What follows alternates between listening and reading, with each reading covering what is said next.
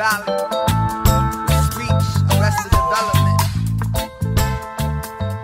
back to Real TV Films. I am your host, Tracy Stumpf, and tonight we are in Santa Monica at the Charleston Party here with Elite Home Staging. I just messed that up. So, Elite Home Staging and Supper King and Real TV Films and the California and Canada Business Council. So much is going on. This is my friend Luna. Hi there. Hello. Hi.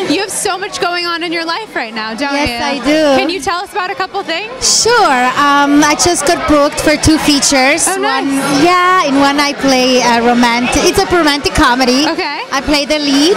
It's called Love's Irony. Love what? Love's Irony. Loves irony. Yeah. Sounds mysterious. I like it. It's very funny. yes. And then the other project is actually an LGBT. It's a coming of age story. Awesome. It's drama romance. It's about love life. Yeah. And growing up.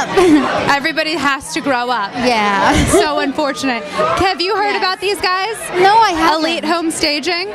They come into your house and make your house look like Steven Tyler's. Oh, that's they nice. just they stage the whole. It's amazing. Oh, that is amazing. Right? Yes. I want them so bad in my oh, oh studio I would apartment. like them to come. Yes. Yeah, to my apartment. We're gonna Yeah. call them, you guys. Yeah, Me and you. let's call them. We're gonna go in on it. Yeah. Thank you so much for hanging out and talking to us. I really appreciate it. Thank you. For Real TV